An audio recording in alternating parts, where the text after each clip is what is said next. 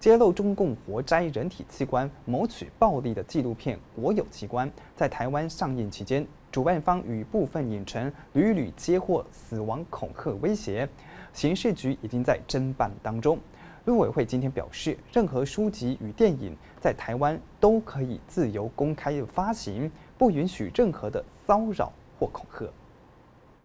对台湾来讲，哈，所有不管任何发表的书籍，或者是电影，或者是任何内容，